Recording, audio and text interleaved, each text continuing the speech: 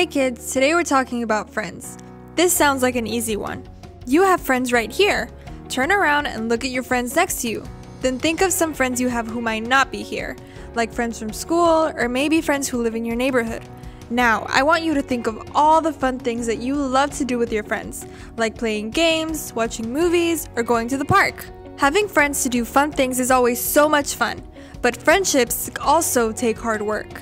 You talk with each other, always tell the truth, and you're there for each other. So today we're learning I will be a friend. Let's say it together I will be a friend. We can share God with our friends too. God wants us to talk about Him with our friends. If they are having a hard time with something, they can trust us when we tell them that we put our faith in God to help us get through those hard times. There are a lot of examples of how to be a good friend in the Bible. Let's read a story about two friends who were looking out for each other. We can read this in the Bible in 1 Samuel 18 verses 1 through 9 and 19 verses 1 through 17. That's in the Old Testament of the Bible.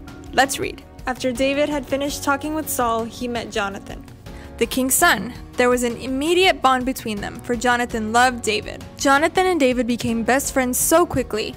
There was a problem though. Jonathan's dad was Saul, and Saul was jealous of David because the people said he was a better warrior. Saul was very worried that they would crown his son's friend as king instead of him. Saul eventually became so jealous that he planned to kill David. David was very worried about this because he guessed Saul's plans. But when David confronted Jonathan about it, Jonathan told him that he didn't think his dad would do that. That's not true, Jonathan protested. You're not going to die. He always tells me everything he's going to do, even the little things. I know my father wouldn't hide something like this from me. It just isn't so. The next day, Jonathan found out the awful truth that David was right because his father admitted his plans to him. Jonathan was so sad, but he knew what he had to do. He sent David away so that he would be safe from Saul. Jonathan was sad that his friend had to leave, but he knew that even though it was hard, it was the best thing he could do for his friend. This story shows us that friendships aren't always easy. You need to put your friends' needs before your own and take care of each other like family. After all, we are all family in Christ. Making tough decisions to make sure that everyone is taken care of is important. It was very hard for Jonathan to send David away, but he knew he had to.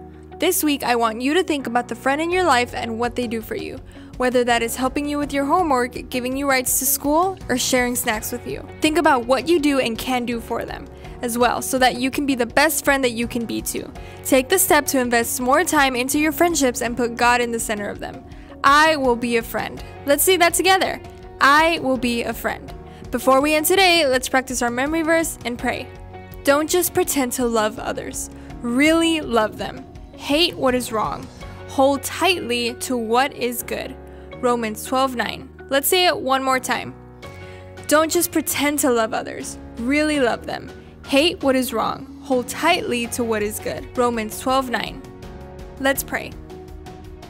Dear God, thank you for sending Jesus to be our friend forever. We ask that you would help us be good friends to others and help us share your love. In Jesus' name, amen.